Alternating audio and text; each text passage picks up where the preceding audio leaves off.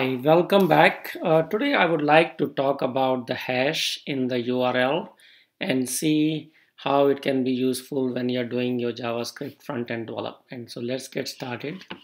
Uh, I basically have a simple page here uh, with an anchor uh, set up for pointing to hash tips and uh, I just have few images being shown and this paragraph is where it is kind of pointing to with the tips.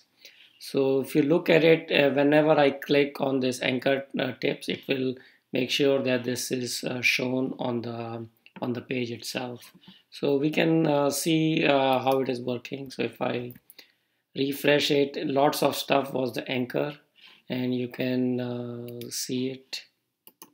If I show it to you and let's just click on it and you can see that it points to the visit useful tips and it, uh, you can see it. So that's the normal usage of something uh, uh, after the hashtag and it has actually a special name. So if you look at uh, the location uh, in your console, uh, you can expand it and you will see that the hash part is called this thing. The hash is the tips.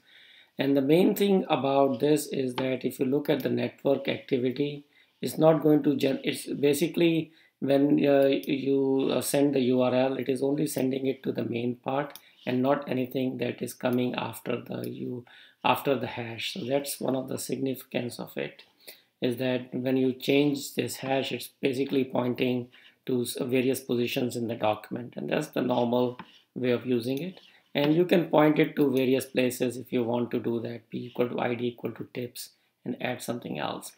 Uh, another thing you can do is uh, you can uh, monitor this hash change in javascript and i've written a little uh, function to do that. And let me demonstrate uh, to you how that can work.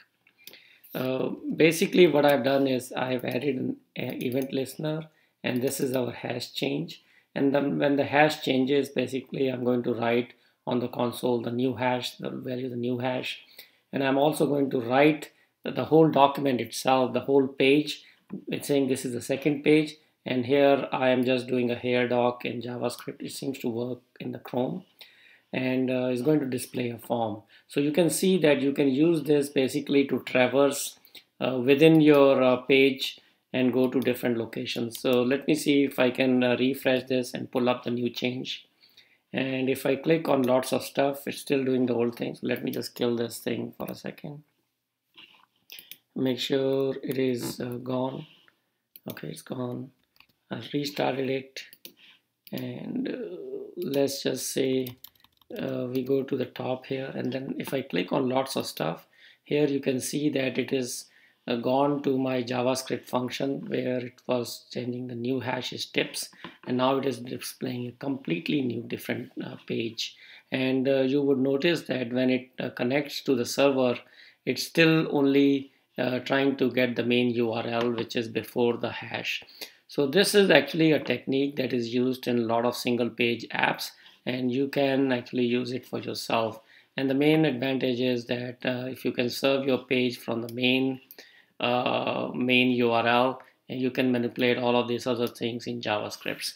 Hopefully you'll find this uh, interesting in your own designs. Thank you for watching this short screencast.